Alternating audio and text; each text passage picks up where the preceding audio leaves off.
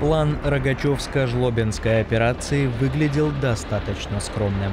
В течение двух-трех дней предполагалось захватить плацдарм за Днепром, после этого продолжить наступление на запад до реки Друдь и попытаться захватить плацдарм уже на ней. Замысел командующего Третьей армии генерала Горбатова в штабе фронта не оценили, посчитав несвоевременным, и рекомендовали ограничиться прочной обороной занимаемых позиций. Однако генерал Горбатов был человеком упрямым.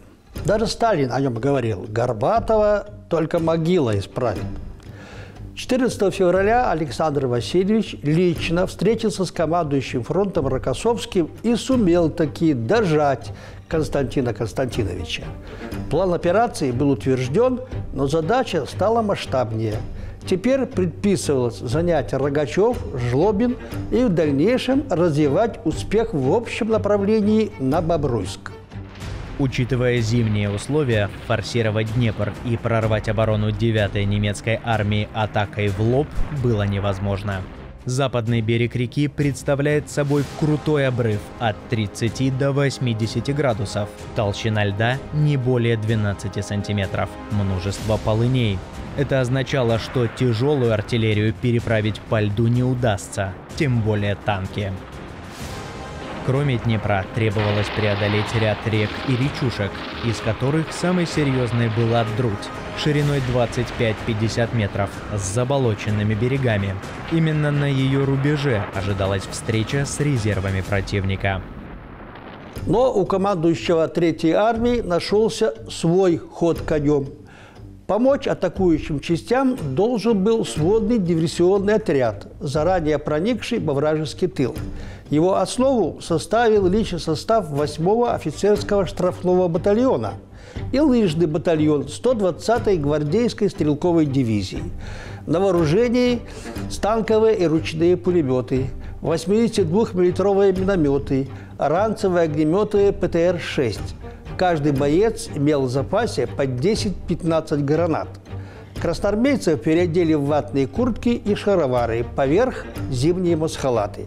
Всем выдали двухдневный паек, а котелки и кружки изъяли, как ненужные и создающие стук. Командир 8-го штрафного батальона, подполковник Аркадий Осипов, для которого земля Рогачевщины была родной, провел отряд в немецкий тыл почти тихо.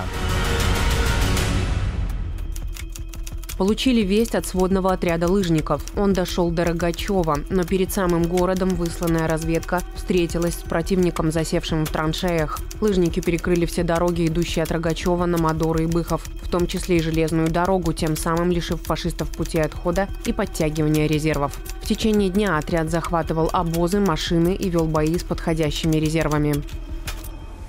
К вечеру 23 февраля полки 120-й гвардейской стрелковой дивизии подошли к Рогачеву.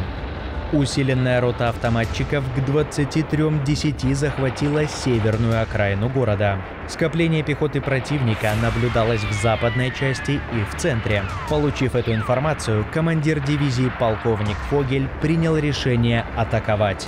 И уже к 0.15 24 февраля полк стремительным ударом овладел центром, а к 5.20 утра, уничтожая и тесня отдельные группы автоматчиков, полностью очистил город от немцев.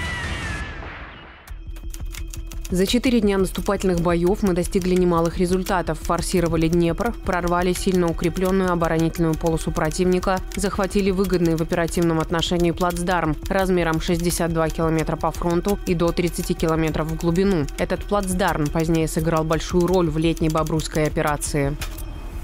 Так закончились первые фронтовые операции Красной Армии по освобождению Беларуси от оккупантов.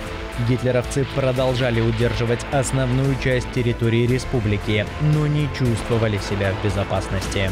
Размах партизанской борьбы против захватчиков зимой и весной 1944 года достиг своего апогея.